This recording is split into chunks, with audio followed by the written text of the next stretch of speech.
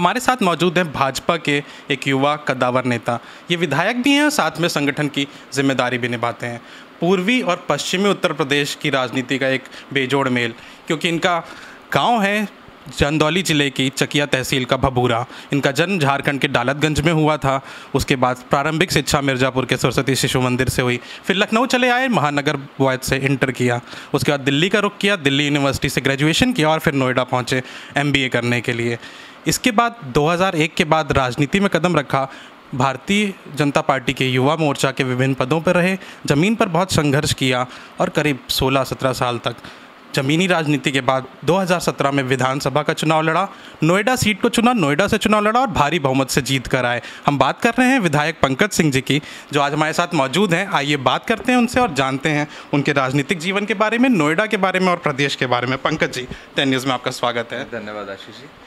बात की जाए तो आपका एक अच्छा खासा बड़ा राजनीतिक पर जीवन अनुभव रहा है। आपने काफ़ी समय ज़मीन पर संघर्ष किया, पर जब चुनाव लड़ने की बात थी तो नोएडा का चुनाव क्यों किया गया? क्योंकि आप पूरे प्रदेश में आप काफ़ी एक्टिव है नहीं, आशीष जी, कई बार हम लोग, मैं एकदम पार्टी का एक बहुत ही सामान्य कार्यकर्ता हूँ और जब जब भी, जब से ही मैं पार्टी में एक सक्रिय कार्यकर्ता के रूप में मैंने काम शुरू किया, पार्टी का जो भी आदेश होता है, जहाँ के लिए भी आदेश होता है, उधर की तरफ़ मैं रुख कर देता हूँ।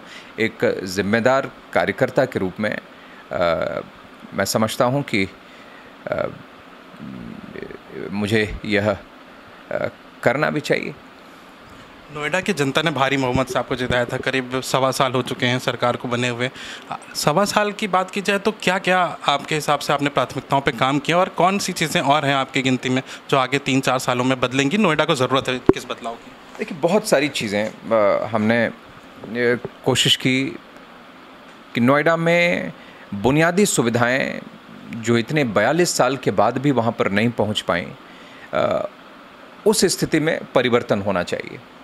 और नोएडा के लोग जो अपेक्षा करते हैं, और नोएडा के बारे में जैसा परसेप्शन है, हम नोएडा को वैसा नोएडा बनाना चाहते हैं।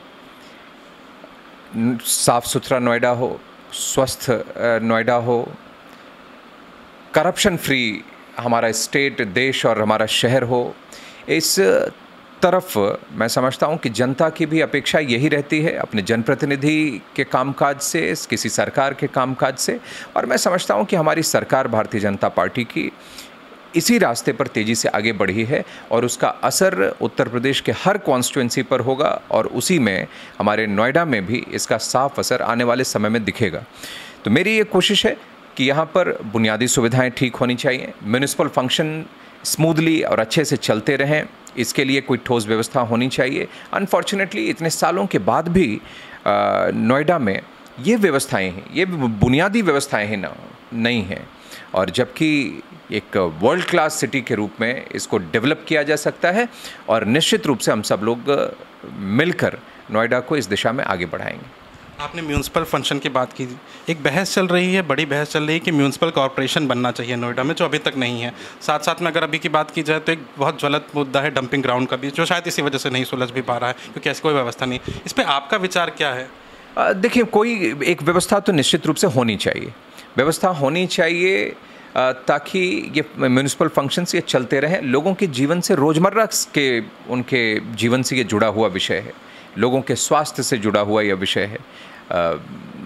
तो इसीलिए इसकी एक ठोस व्यवस्था तो होनी ही चाहिए। लेकिन और जहाँ तक रही बात, कोई एक ऐसा स्ट्रक्चर जो ख़ास तौर पे सिर्फ़ और सिर्फ़ इन इस फ़ंक्शन को देखने के लिए हो, यह मैंने मांग की है। इस पर एक रिपोर्ट भी शासन को भेजी गई है। हमारे तीन मंत्रियों का जो समूह था, उन्होंने भी उसको देखा है और बहुत ही पॉजिटिव रिस्पॉन्स उस पर दिया है। माननीय मुख्यमंत्री जी से भी मेरी चर्चा हुई है उन्होंने भी बहुत पॉजिटिव रिस्पॉन्स इस पर दिया है। अब वो कैसा होगा क्या एक स्ट्रक्चर होगा? लेकिन यह बात तय है कि नोएडा को कोई एक ऐसे स्ट्रक्चर की आवश्यकता है और जो नोएडा को आवश्यकता है वह निश्चित रूप से पूरा करेंगे। आपने तीन मंत्री समूह की बात की आ, उसका फॉर्मेशन हुआ था बिल्डर बायर समस्या के लिए भी था जिसमें वो देख रहे थे। वो समस्या काफ़ी हद तक सुलझने की कोशिश हुई और बहुत सारे उसमें अड़चने आई। अभी की बात की जाए तो छः अधिकारियों की एक ब्यूरोक्रेट्स की एक बड़ी कमेटी भी बनाई गई है, जो पंद्रह जुलाई तक इसकी एक रिपोर्ट देगी। सो कहाँ कमी रह गई थी? कौन सी समस्या है कि ये बिल्डर बायर की समस्या अभी तक सॉल्व नहीं हो पा रही है? उसके लिए किस तरह के कदम उठा रही देखिए, ये मामला पिछली सरकारों ने उलझा कर रखा हुआ था। और बहुत ही उसको कॉम्प्लिकेटेड बना दिया था। लेकिन ये शायद पहली बार किसी सरकार के मुखिया ने भी उनसे मुलाकात की और उस दिशा में उसको सॉल्व करने के लिए पहल भी अपनी तरफ़ से उन्होंने की है। मेरे साथ भी एक बड़ा डेलीगेशन उनसे मिला और उसके बाद लगातार मेरी भी चर्चा होती रही है। और पहले एक मंत्रियों का समूह भी और फिर एक समिति बनाकर इसका और कैसे सॉल्यूशन निकले? क्योंकि इसमें बैंक्स भी हैं, इसमें बायर्स भी हैं, उनके हितों की रक्षा करना ये हमारी प्राथमिकता है। तो इन उसको ध्यान में रखते हुए क्या रास्ता निकल सकता है? सरकार इसके लिए प्रतिबद्ध है और कम से कम लगातार अब सरकार की तरफ़ से कोशिशें जारी हैं। और मैं समझता हूँ कि अगर एक साफ़ इंटेंशन से और इस सोच के साथ कि बायर्स के साथ इंसाफ हो जस्टिस हो सरकार आगे बढ़ी है तो कोई ना कोई रास्ता निश्चित रूप से निकलेगा। लॉ एंड ऑर्डर एक बहुत बड़ा मुद्दा था। चुनाव से पहले आरी मोहम्मद से जीत के आई योगी सरकार बनी। उसके बाद से आप पिछले डेढ़ सवा सालों में आप प्रदेश की कानून व्यवस्था और नोएडा के कानून व्यवस्था में किस तरह के सुधार देखते हैं? देखिए बड़ा राज्य है और इसके लिए हम लोगों ने कहा था कि कुछ समय ज़रूर चाहिए होगा लेकिन इस स्थिति को हम लोग बदलेंगे। और मैं आज कह सकता हूँ कि आज उत्तर प्रदेश के कानून व्यवस्था की जो स्थिति है, उसका पूरे देश भर में लोग अब एग्ज़ाम्पल देते हैं कि ऐसे कानून व्यवस्था होनी चाहिए। जो पहले क्रिमिनल्स और गुंडे बदमाश जो घूमते रहते थे, खुलेआम घूमते थे, लेकिन आज आपने देखा होगा कि अब अपनी एप्लीकेशन वो लगाते घूमते हैं कि हमारी बेल कैंसिल करो और दोबारा अंदर चले जाना चाहते हैं। ये बड़ा परिवर्तन हमने किया है। हमारी सरकार ने किया है। और हौसले आज गुंडे बदमाशों के पस्त हैं और उनको यह पता है कि आज कोई संरक्षण देने वाला नहीं है और यूपी कोका जैसा कानून लाकर उत्तर प्रदेश सरकार ने यह अपनी मंशा स्पष्ट कर दी है कि अब सिर्फ़ अपराधियों का ही नहीं, बल्कि अपराधियों के साथ साथ अपराधियों को संरक्षण देने वाले भी अब बच नहीं पाएँगे। उनके खिलाफ भी कड़ी कार्रवाई उसमें होगी, यह साफ़ संदेश दिया है। और जब इतना क्लियर इंटेंशन जब सरकार का हो तो मैं समझता हूँ कि निश्चित रूप से ऐसे तत्व कभी भी अपना सिर नहीं उठा पाएँगे। मैं विश्वास के साथ कह सकता हूँ। ये तो बात हुई मुद्दों की। ये आपके व्यक्तित्व के बारे में भी बहुत कुछ कहा जाता है और समझना ज़रूरी है। मुझे याद है जब आपका विधानसभा में डेब्यू हुआ था, आपका पहला भाषण था, आप राज्यपाल के अभिभाषण में बोल रहे थे। आपने विपक्ष पे निशाने साधे, राज्यपाल के अभिभाषण के दौरान कागज़ के गोले बनाए गए थे, फेंके गए थे। आपने एक 10-12 मिनट का एक भाषण दिया जिसको बहुत शांति से सबने सुना। कहा जाता है कि आपकी बातचीत के अंदाज में राजनाथ जी की झलक दिखती है। तो कितने प्रभावित है? और जब परिवार में इतनी बड़ी लकीर खींची हो और इतना बड़ा कंपैरिजन होता हो तो उससे किस तरह का प्रेशर रहता है? नहीं प्रेशर नहीं, मैं अब जितनी अपनी क्षमता रहती है, जितनी समझ होती है, कोशिश करता हूँ कि वो करूँ। लेकिन एक चीज़ क्लियर है कि जब ईश्वर ने किसी चीज़ को एक अवसर दिया है काम करने के लिए या रास्ता दिया है मुझे जनता की सेवा करने के लिए तो उसको मैं पूरी ईमानदारी के साथ और पूरे मन के साथ मैं वह करता हूँ।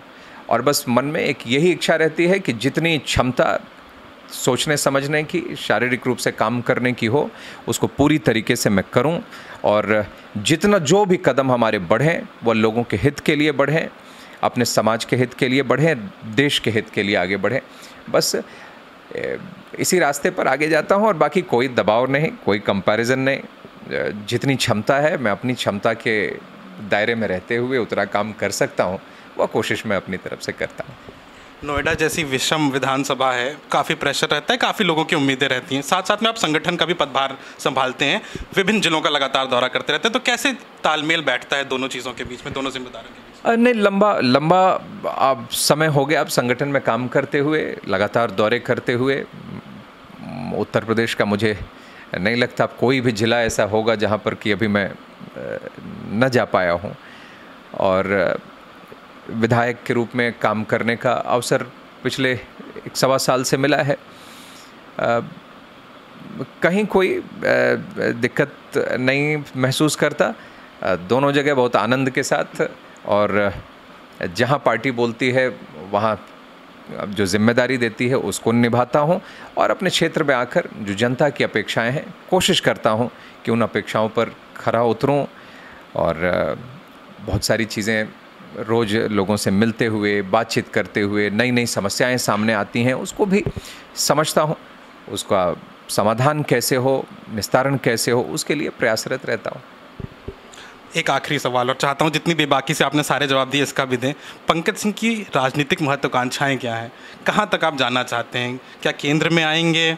सरकार में, मंत्रिमंडल में विभिन्न भूमिकाओं में दिखेंगे? क्या है संगठन और सरकार की बात की जाए तो किन भूमिकाओं में आपको आगे देखा जाएगा? नहीं, मैं इस पर, मैं यही कह सकता हूँ कि बहुत पार्टी के प्रति, अपने राष्ट्रीय अध्यक्ष जी के प्रति, अपने प्रदेश के नेतृत्व के प्रति मैं बहुत आभारी हूँ कि आज बहुत कम उम्र से ही इतने बड़े पार्टी का, इतने बड़े प्रदेश का, महामंत्री के रूप में काम करने का अवसर दिया। और लगातार आज लगभग सात साल से मैं प्रदेश का महामंत्री के रूप में काम करने का अवसर दिया है। गोरखपुर क्षेत्र की तेरह लोकसभा की उधर की ज़िम्मेदारी इंचार्ज के रूप में दी है। किसान मोर्चा के पूरे प्रदेश के प्रभार पार्टी की तरफ़ से दिया गया है। नोएडा जैसी कॉन्स्टिट्युएंसी से पार्टी ने चुनाव लड़ने का अवसर दिया। मैं उनके प्रति मैं आभार व्यक्त करता हूँ। जो जो भी ज़िम्मेदारी दी है, मैं उसको निभाता रहूँगा। और भविष्य में क्या है, ये तो ईश्वर का जो आशीर्वाद होगा, जो रास्ता होगा, और पार्टी जो तय करेगी, उस पर चलेंगे। कोई बहुत बड़ी महत्वाकांक्षा लेकर नहीं, एक बहुत सामान्य रूप से अपने कदम में आगे बढ़ाता रहता हूँ। जो भविष्य में होगा, वो निश्चित रूप से पहले से लिखा होगा, वो देखेंगे। हमसे बात करने के लिए बहुत बहुत धन्यवाद। बड़ी बेबाकी से आपने बातें रखी सामने रख अपनी बातें रखी। धन्यवाद। धन्यवाद आशीष जी। तो ये थे विधायक।